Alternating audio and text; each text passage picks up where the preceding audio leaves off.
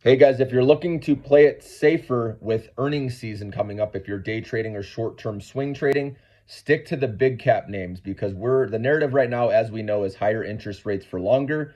And the big caps can continue to do okay in this environment, like we've seen, because they don't need to raise capital. So it doesn't matter about interest rates to them as much.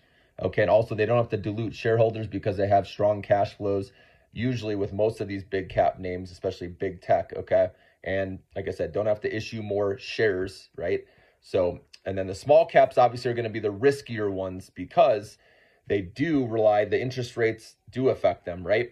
Because if they have to raise capital, they have to raise it at a higher interest rate, and they may have to dilute shareholders to raise capital by issuing more shares, which means you own less of the company, which means stock price goes down.